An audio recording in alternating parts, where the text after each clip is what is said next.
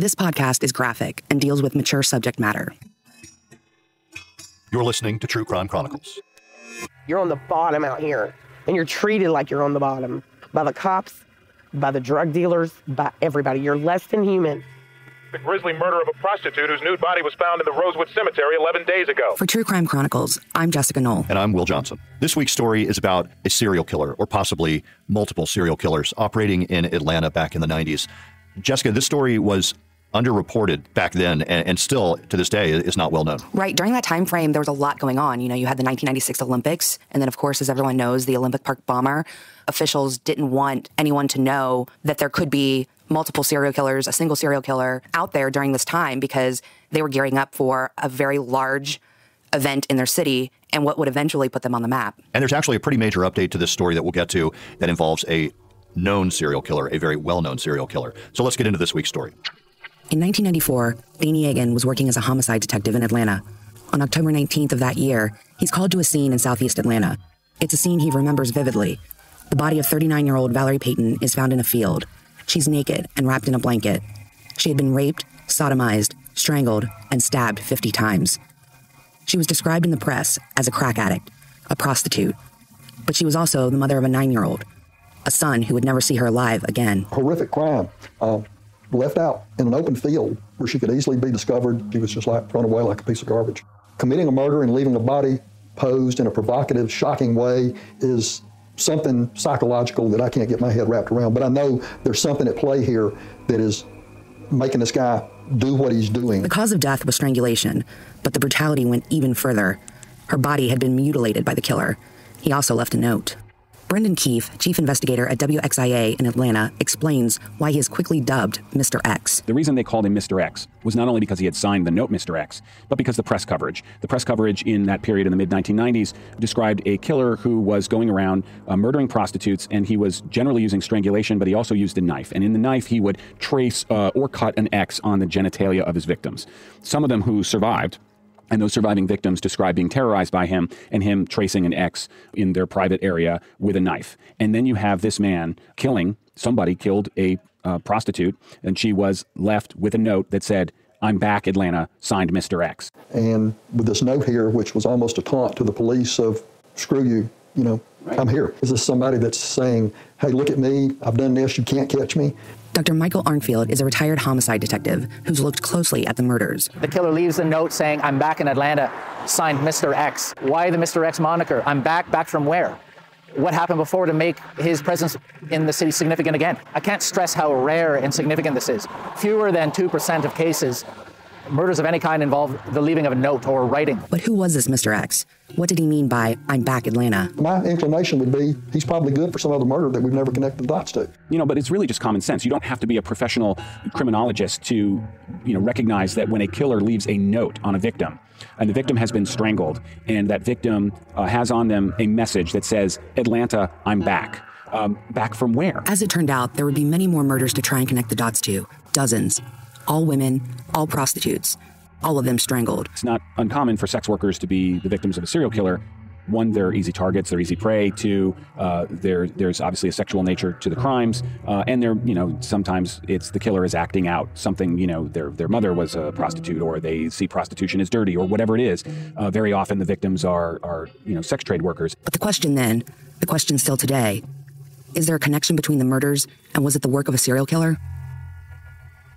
Susan Drew was also an addict and a prostitute in the 90s. She knows she's lucky to be alive today. It was terrifying. You know, I lived out there, I lived out there wanting to die. You know, I mean, this was this is not something I planned. I didn't, you know, as a kid grow up saying this is what I'm going to do in my life. But this the road I went down, and I hated the fact that I was out there on the streets away from my children. Once I was about to die, all I could think about is, my God, my kids are going to they're going to know. They're going to know what I was doing. They're going to know how I died.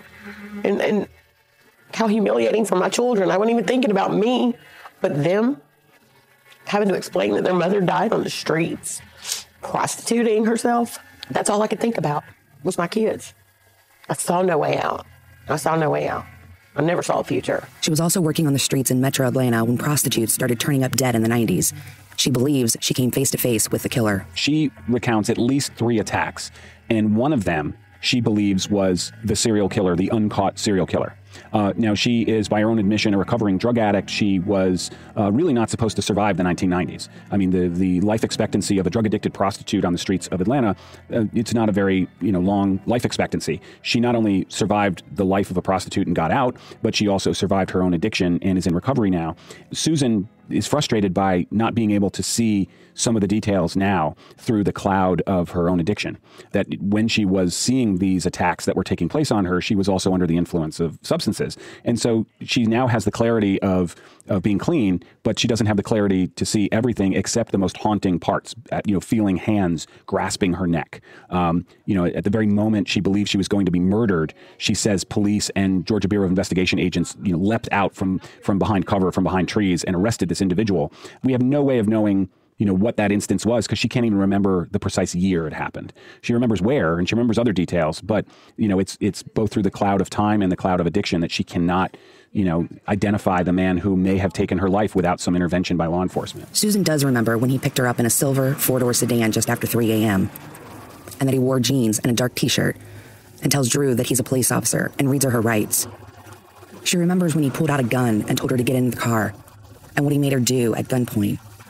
She remembers when he got out of the car and she rolled up the windows, grabbed the keys, and started the car. And I took off with him hanging inside the car, hit a tree in the back of this yard. I hit the tree and he put me in the passenger side and started strangling me. And I'm begging, begging, pleading for my life. I don't want to die. Please don't kill me. All the way over there into the corner and um, hit a tree. He dumped me in the woods. He thought he killed me. I thought he killed me. Susan survived the attack, but many other women didn't. But there had been stranglings. Many. You didn't know. You just hoped you would survive. They knew they had a serial killer. This guy's not going to just hurt you and you're going to go get away. You're going to die. He strangled me. I know plenty of girls out here that got killed that I have never been asked one question about where did they go? Did you see him in the car? I was out here a long time and I was never asked those questions. The murder started in the years leading up to the 1996 Olympics in Atlanta. The Olympic Games would catapult Atlanta into the spotlight. You can't believe it's actually here. It's like today is the day, man. Well, you know, Atlanta's a beautiful city to begin with, and when you add all, of, all the Olympic flavor, it just makes it all the more wonderful. This park is gorgeous. The city of Atlanta today would not be the global center of commerce and trade and transportation without the 96 Olympics. The 96 Olympics were when Atlanta became a major international city. It, it quite literally put Atlanta on the map. And during that time, there was this sort of push to become the city Atlanta is now. This was all taking place uh, while Atlanta was becoming the city it is today. And there was a tremendous amount of political pressure on the police department to not even acknowledge uh, that there was a serial killer or really that there were rapists or any other kind of killers out there. And this is documented. The, the city um, and its leaders, particularly the mayor at the time, uh, were trying to make sure that this, that crime uh, was not, you know, what Atlanta would be known for, just as it was becoming Atlanta. And as more and more women, drug addicted prostitutes, were strangled on the streets of Atlanta, the city leadership, even then Mayor Billy Campbell, seemed to brush off the idea of a serial killer. Some murders over the last two years have some similarities. It's a huge headline indicating serial killer on the loose. That's irresponsible. But if it wasn't a serial killer, did it mean that the city of Atlanta was dealing with a string of isolated cases, 40 individual stranglers? Retired homicide detective Dr. Michael Arntfield sees evidence of six or seven serial killers operating in metro Atlanta at that time. Very few police departments want to admit that the term exists, much less that they have a serial killer in their city. I can only imagine in 94, 95, 96, the years leading to the 96 Olympics, the stigma associated with having a serial killer here in Atlanta. Law enforcement will deny this, but there isn't the political pressure to solve a series of prostitute murders. Uh, all you have to do is go back to the late 19th century with Jack the Ripper. You know, if they were killing people on the west end of London, it would have been far more political pressure on catching the, you know, the Whitechapel killer, but he was killing sex trade workers in East London. So, you know, this has been universal for more than a century, and it's certainly the case here. And so the murders weren't getting the attention that they deserved. They were forgotten victims.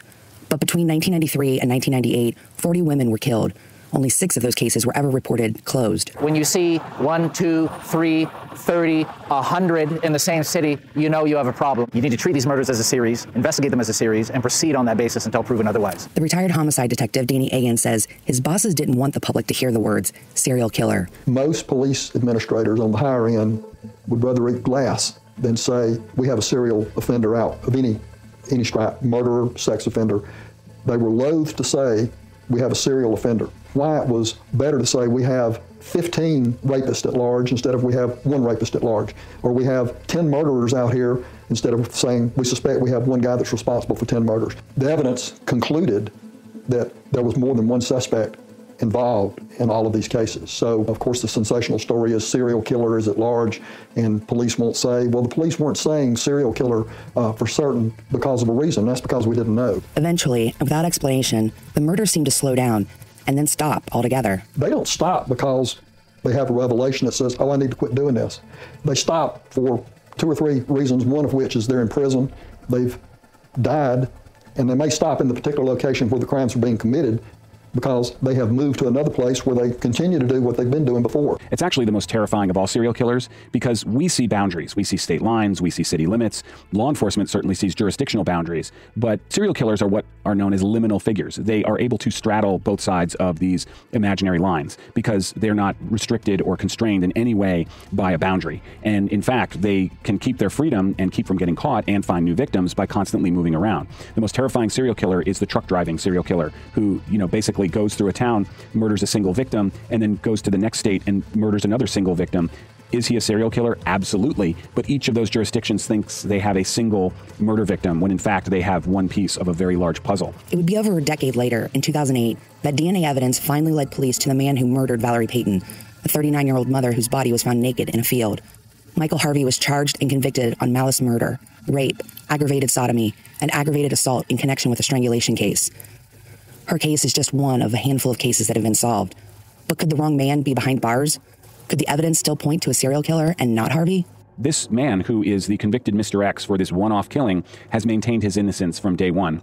He has been denied all of his appeals, but he has gone, you know, to great lengths to try to prove his innocence from prison, and he's, you know, keeps getting hung up on the DNA that convicted him.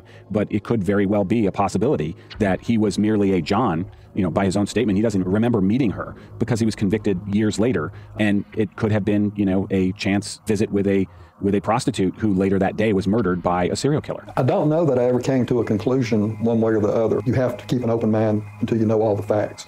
And the deal is, we didn't know all the facts back then. I don't think we ever came to a hard and fast conclusion of were we dealing with multiple suspects or one suspect or maybe even two suspects. We had more murders after this one arrest, but this indicated that we had more than one suspect. The, the prevailing wisdom from the cold case investigators with whom we have worked is that there were at least three serial killers operating, uh, you know, at the same time in Atlanta, and they were also, you know, hunting very similar victims. Decades later, 85% of the strangulation cases remain unsolved.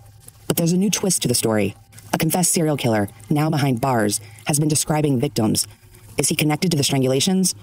Could he be the serial killer who ended so many lives in the 90s? That man's name is Samuel Little, and he's quickly becoming the most prolific serial killer in American history. She had a life, and someone took that away. 31 years hunting for her mom's killer. And it's going to end with me getting the person that killed my mom. Pune Gray is closer than ever. So these are dangerous people. Extremely dangerous people. From the team that brought you Urge to Kill, I'm Ashley Porslin. Are you willing to go to war, so to speak? And this is The Yellow Car. I'm always ready for anything. Subscribe now. Jessica, what can you tell us about Samuel Little? He's been in the news a lot recently. Well, we learned about Samuel Little earlier this year when he started making some pretty startling confessions starting in Texas. And his confessions have made their way all throughout the country. He's drawing portraits of his 1990s victims for investigators, including in Atlanta during the time frame that we talk about in this story and with Susan Drew. And we're looking to see if there's any possible connection between him and, and these strangulations. Most recently, he confessed to about a half dozen murders in Ohio. Brendan, what are you hearing? You know, to understand Samuel Little, you have to look at what he covets, right? I mean, this kind of goes back to the classic behavioral sciences model at the FBI. We have to look at what he covets. What does Samuel Little covet? He covets these victims. He owns them in his mind. Samuel Little draws these women and paints these women not to help law enforcement. He's doing it because it's his way of reliving and sort of continuing to own his victims. This is his menagerie. These are his most prized possessions, each of these murders. He remembers murders from 30 years ago in stunning detail detail. Uh, he's able to not only recollect how he committed the murders and where he committed them, but he's able to see their faces in his mind. See the you know the last thing these people saw was Samuel Little looking at them, and these women now are projected from the killer's mind onto canvas and onto paper with watercolors and pen and paint. And now law enforcement can take those and try to match them up with missing person cases. And this is really the confounding thing with hunting a serial killer. Even if you have a confessed serial killer, you may not have even discovered the body yet. So to try to match it up, well, he said he killed killed this woman on this month, on this year. They may not have found a body in this month in this year at this location. In fact, there may still be remains yet to be uncovered. Uh, where the Atlanta police are, of course, is they're being very tight-lipped, but that's convenient given that you know just a year ago they denied the existence of Samuel Little before he was identified. And what I mean by that is that the Atlanta police uh, were very critical of our reporting. We did a series called The Hunt, and our first story was called The Hunt Atlanta's Unknown Serial Killers. The Atlanta Police Department took issue with the idea that there were any unknown or uncaught serial killers and were very insistent that we, you know, change the title of our story. They thought it was unfair, they thought it was sensational. Uh, well, now here we are a year later where we have, you know, depending on how far out you want to go from the Atlanta metro area, you know, we have half a dozen victims who were previously thought to be individual killings that are now thought to be Samuel Little's victims. We're again we're waiting on confirmation, but every other case to which Samuel Little has you know admitted has turned out to be true if it's verifiable. So you know that's pretty strong. Plus, he has no incentive. They're not dangling a deal in front of him. He's never going to see the outside of any prison walls, and will likely either die in prison or he will be executed for one of these crimes, one or more of these crimes. And so there's no incentive for him. And in fact, he's not being cooperative with law enforcement. He's enjoying uh, the ability to relive these moments every time he tells one of these stories or paints one of these pictures. So, Brendan, I, I mean, Samuel Little's motive, it's not about like remorse or anything. Yeah, I don't think Samuel Little's motivated, and obviously I haven't talked to him, but I don't think Samuel Little is motivated by some sense of altruism or remorse. He's motivated by having an audience for his show, and his show is The Murder Show. And the police are his audience. And so otherwise, he was simply putting on this show in his own mind. It's sick and it's twisted, but Samuel Little considers himself an artist, not just on canvas, but in blood. He has painted with blood across this country, and his sort of opus is to have killed all of these women. And each of them are sort of a, a pixel in the overall picture that he has created. And so his, you know, to be able to show it to the world is his sort of final presentation. And it's sort of like an art show for him. It's sort of like the the the gallery opening for him to sit down with investigators. He's getting a lot of gratification out of this, clearly. And that makes it even more disturbing because in order to get to the truth, we have to give the killer what he wants. But again, even if Samuel Little is linked to some, any of the murders, he's almost certainly not the only killer. You know, if it turns out Samuel Little indeed killed women in metro Atlanta and around Georgia and the surrounding states, that does not mean he's the only killer because we still have dozens of unsolved strangulation murders of women. And it's unusual. In fact, the likelihood, according to all of the cold case experts, is that we have multiple unidentified, uncaught serial killers. All right. Well, our thanks to Brendan Keefe, chief investigator at WXIA in Atlanta, for telling us so much about, about this case and these cases and Samuel Little. Jessica, we're definitely going to have to do uh, an episode all about just about Samuel Little. Yeah, Samuel Little's story is definitely an interesting one, and the confessions keep coming. So he is growing into the most prolific serial killer in our country. All right, thanks, Jessica, and thanks once again to Brendan. You can tell your friends to listen, subscribe, rate, and review our show on Apple Podcasts, Spotify, Google Podcasts, Stitcher, and all major listening apps. True Crime Chronicles is a Vault Studios production. We'll be back next week and every week with a brand new episode and a brand new case.